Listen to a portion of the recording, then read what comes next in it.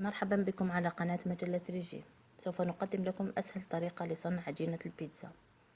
كل ما نحتاجه مكيال من الماء ممكن أن نكيل بكوب ربع مكيال زيت أعشاب عطرية ثوم مطحون ملعقة خميرة فورية نمزج الكل بقدونس مجفف.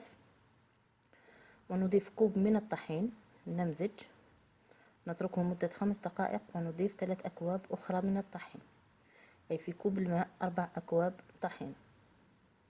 الصلصة هي عبارة عن طماطم مبشورة ثوم زيت زيتون وزعتر نفرد العجينة نقطع على حسب الرغبة والحجم على حسب الرغبة. نضع الطماطم نزين أيضا على حسب الرغبة. ندخلها إلى فرن مسخن مئة وثمانون درجة. نتركها حوالي من 15 إلى 20 دقيقة. ممكن أن نحمرها أكثر إذا كنا نرغب في أن تكون مقرمشة. دمتم في رعاية الله وحفظه. لا تنسوا الاشتراك بالقناة والضغط على الجرس ليصلكم الجديد. في أمان الله.